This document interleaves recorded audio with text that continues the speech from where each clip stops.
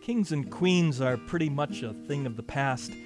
The few that are around these days are mostly symbolic with little real power.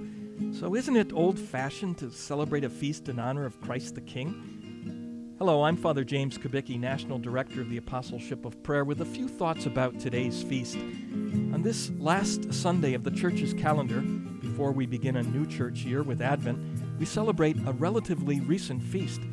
In 1925, Pope Pius XI wrote an encyclical instituting a feast in honor of Christ the King. He said that he wanted the church to celebrate this feast to counteract what he called the plague of modern society.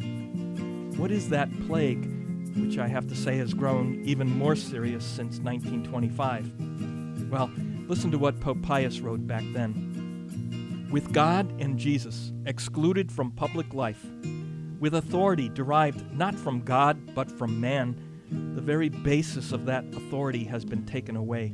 The result is that human society is tottering to its fall because it has no longer a secure and solid foundation. In establishing throughout the Catholic world the feast of the kingship of Christ, we are meeting the need of the day and supplying a remedy for the plague that afflicts modern society.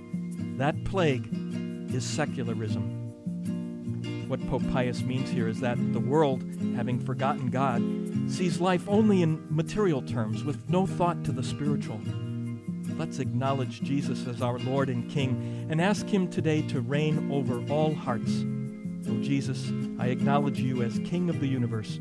All that has been created was made for you.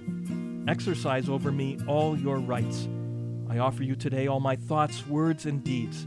May they advance your kingdom of justice and peace, of mercy and love.